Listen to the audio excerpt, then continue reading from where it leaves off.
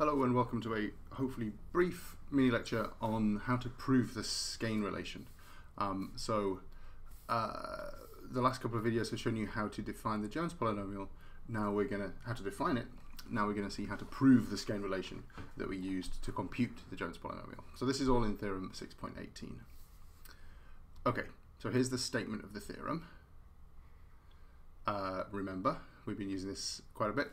If L plus, L minus, and L0 are oriented links which have diagrams that are identical except in the region where they differ as shown, uh, L plus has a positive crossing, L minus has a negative crossing, L0 has no crossing at all, uh, smoothed out in the way compatible with the orientations, then uh, the skein relation, which is this big thing here, is true.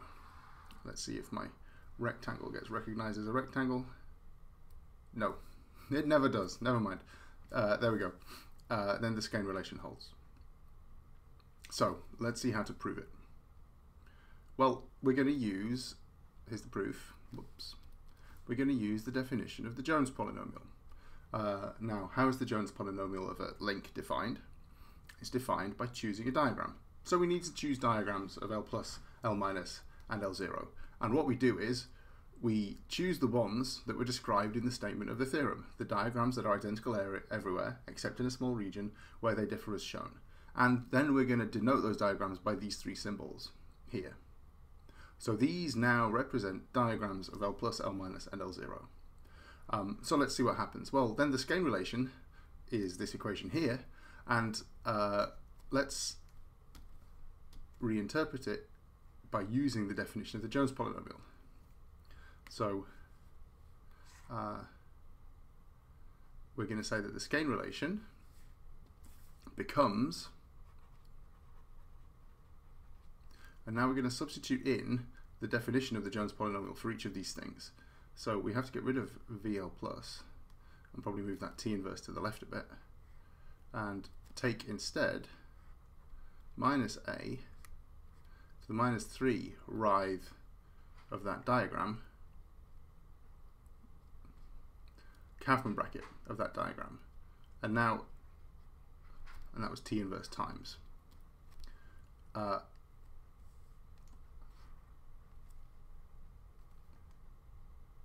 now what happened to the arrows on the diagram when I wrote the Kauffman bracket? Shouldn't there be arrows here in this diagram? Well, no, because uh, whereas the writhe uh, is an invariant of diagrams of oriented links, the Kauffman bracket doesn't care about the orientation.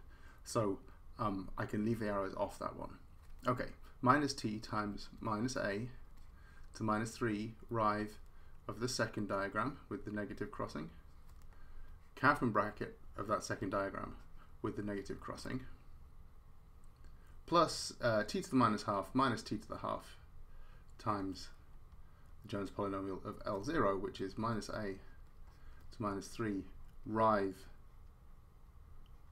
of uh, that diagram, Kauffman bracket of that diagram, all equals zero. And what I've missed out is the substitution. The substitution was always t to the uh, 1 half equals a to the minus 2. That's how we write it. t to the 1 half equals a to the minus 2. t to the 1 half equals a to the minus 2. t to the 1 half equals a to the minus 2. So all I've done is use the definition of the Jones polynomial. Um, so what we're going to do is we're going to rewrite this as something simple involving the Kauffman bracket, and then we're going to prove that thing about the Kauffman bracket. Um, so let's start by uh, reversing the substitution. We're going to write this all out in terms of a's. So, or equivalently,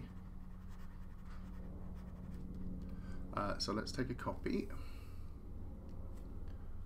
and let's write everything else out in terms of a. So t inverse in terms of A, T inverse is A to the 4.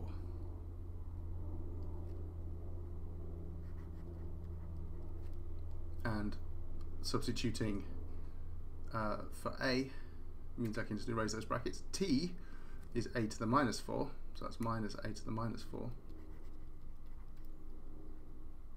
Get rid of these. Uh, t to the minus 1 half is A squared. And 2 to the 1 half is a to the minus 2, so that's a squared. minus a minus 2. Whoops, I erased some of my bracket there. Okay. There we go. So I've done my substitution. So what I have to do is, instead of proving the original skein relation, uh, it's enough for me to prove the third equation here. Uh, now, since the writhe of this diagram, I'm going to understand the writhe and get shot of them. Um, what is the writhe of this diagram? Well, it's the sum of the signs of the crossings in the diagram. Well, what are the crossings in that diagram? They're exactly the same as the crossings in this diagram with the with the crossing smoothed, plus the sign of the crossing I smoothed away, which is 1. And similarly, for the diagram with the negative crossing, the writhe of that is the writhe of the smoothed one, minus 1. Uh, this amounts to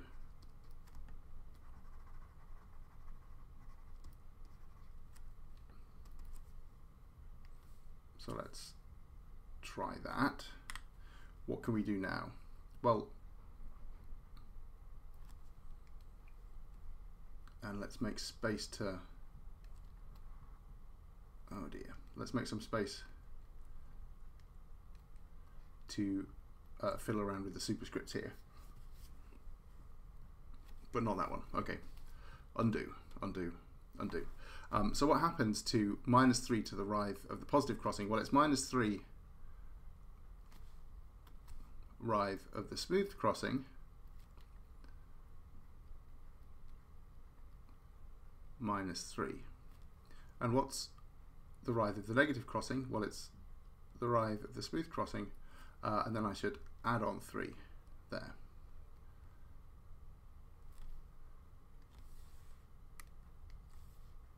Okay, so that's my that's my equation uh, after substituting for the writhe. But now you see,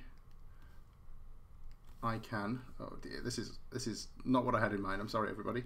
Um, let's simplify it a bit more, or equivalently. Can't write the word or, or equivalently. Well, let's just cancel out all the minus 3 writhe of the smooth crossings.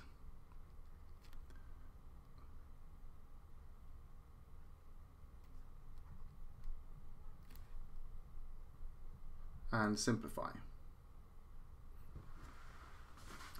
Uh, so I have, ah, and I simplify that to 0, which means I get to erase that entirely. And this is minus a to the minus 4 times minus a cubed. So that's just plus a inverse.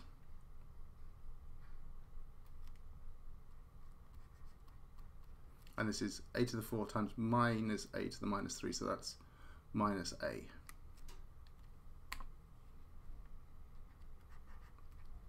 Okay, so this here is what I want to prove. So the second, the second step of the proof is to prove this.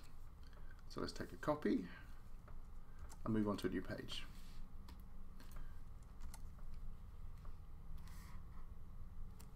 So to prove this,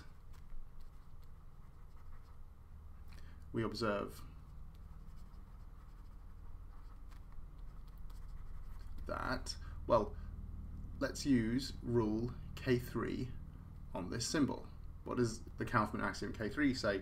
It tells me that this is equal to A times smooth that way plus A inverse times the same diagram smoothed that way. And we're going to use K3 on the other crossing as well. How do we do that? Well, this crossing looks like the wrong kind to apply K3, but if we rotate our heads 90 degrees to the right, then it looks like the right kind of thing. So it becomes A times this plus A inverse times that so that uh, and now let's substitute in here so that this is equal to minus a lots of a times the Kauffman bracket of the positive smoothing plus a inverse times the Kauffman bracket of the negative smoothing. Whoops, plus A inverse times A times the Kauffman bracket of the positive smoothing, uh, sorry, the negative one, plus A inverse times the Kauffman bracket of the positive one, plus A squared minus A to the minus 2 times Kauffman bracket of the positive smoothing. And now let's check what happens. Uh, we have minus A squared, let's have a look here. We have minus A squared times the positive smoothing and here we have a squared times the positive smoothing. So this term and this term cancel each other out. And then we have minus 1 times the negative smoothing plus 1 times the negative smoothing. So they cancel out. And now we have a to the minus 2 times the positive smoothing minus a to the minus 2 times the positive smoothing. So altogether, that is equal to 0 as required.